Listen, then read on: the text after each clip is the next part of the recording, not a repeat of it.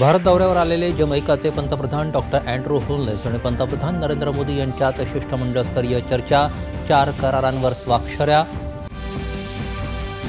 जम्मू काश्मीरमध्ये विधानसभेच्या अखेरच्या टप्प्यातील चाळीस जागांसाठी संध्याकाळी पाच वाजेपर्यंत पासष्ट टक्क्यांहून अधिक मतदान झाल्याची प्राथमिक आकडेवारी.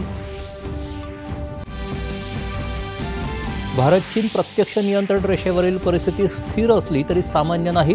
भारत कुठल्याही आकस्मिक संकटासाठी सज्ज लष्कर प्रमुखांचं प्रतिपादन. राज्यात विधानसभा निवडणुकीत महायुतीचं सरकार येणार. मुंबईत कार्यकर्त्यांना मार्गदर्शन करताना भाजपा नेते अमित शहा यांनी व्यक्त केला विश्वास.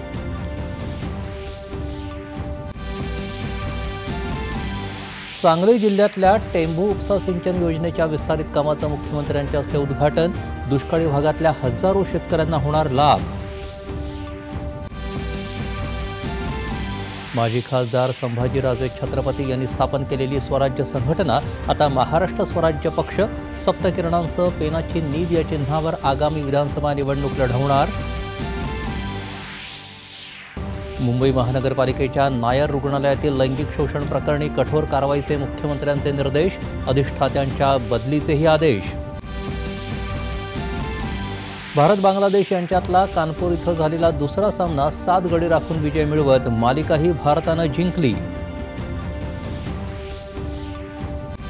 आणि पेरू इथं सुरू असलेल्या जागतिक कनिष्ठ नेमबाजी अजिंक्यपद स्पर्धेत भारताची तीन सुवर्णपदकांना गवसणी पार्थ मानेला पुरुषांच्या वैयक्तिक तर सांघिक प्रकारात दोन्ही गटात भारताला सुवर्णपदक.